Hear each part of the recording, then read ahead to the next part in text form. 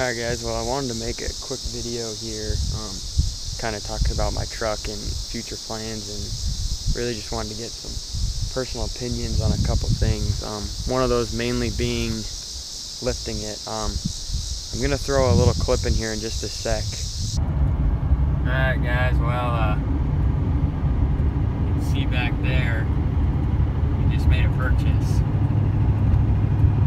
Pretty exciting purchase, so yeah, got a new wheel and tire setup um, quite a while ago now. It's been a good two or three weeks, um, but it's it's way too big for for the just leveled look. Right now, that's all we've got. We've just have leveled up front, torsion bars are cranked up, and then a block in the back. So that's that's what it's sitting on. And then these tires are 31s. It's a two 85 60 so it kind of translates to about a 31 um, so that right there alone previous owner even had to cut a little bit here and when you turn you get pretty close to contacting back there um, the back here is just fine. I mean it's got blocks from the leveling kit but that's how it sits right now. It's a basically a 31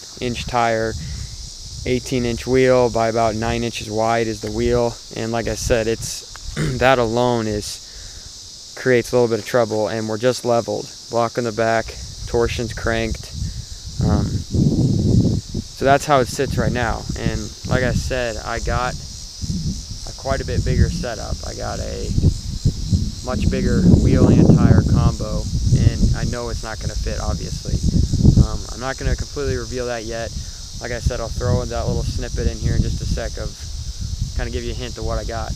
But it's it's much bigger. It's not going to fit. But that's where it boils down to for me is lifting it. I'm not super stoked on lifting this truck. Um, I like the functionality of being able to tow things. I like being able to, you know, hop in the bed really easily. And a six-inch lift to me is just a little much. Um, I don't. I'm not a huge fan of how how much taller that makes the truck. Um, and so that's kind of a negative thing. Um, but I know in order for me to run this new setup, that's what I'm going to have to do. So, um, yeah, I don't, I was just hoping that to get some opinions from you guys out there, what you thought on um, lift kits. I've looked at six inch, I've looked at, you know, the three to four leveling kits slash lift kits. I've looked at um, Fab Tech, I've looked at obviously rough country, um, and then the main one being um, zone, zone off-road.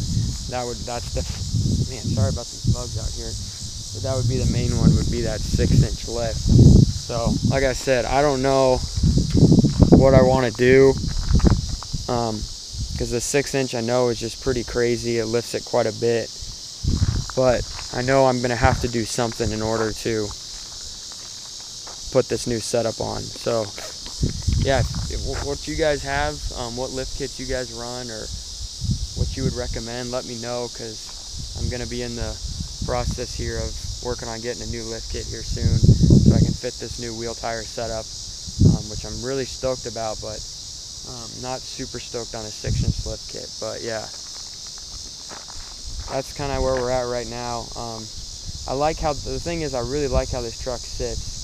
Um, but I also would do like want a little bigger wheel tire setup.